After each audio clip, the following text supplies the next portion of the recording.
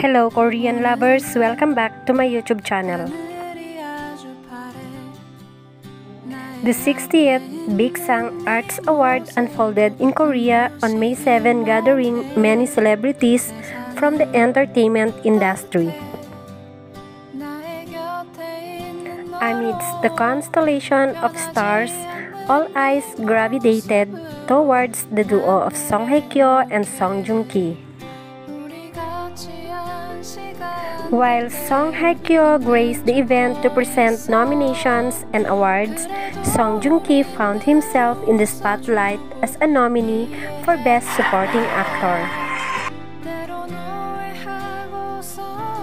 The mere prospect of Song Hye Kyo and Song Joong Ki sharing the same space ignited a frenzy on social media, both in Korea and beyond. According to reports from Sina, the buzz surrounding the keyword Song Hye Kyo and Song Joong Ki attend Baeksang 2024 skyrocketed to become the second hottest search topic on Weibo, amassing over 70 million views.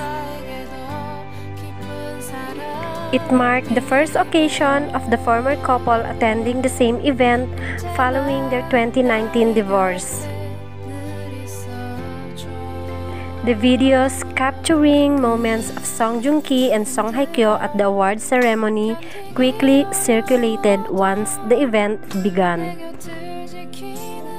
Throughout the event, Song Joong Ki was captured on screen multiple times, displaying a cheerful smile as he applauded winners and cheered for Kim Jung Soo, who clinched the Best Supporting Actor award over him. What can you say about this video? Just leave a comment and don't forget to subscribe. Thank you for watching.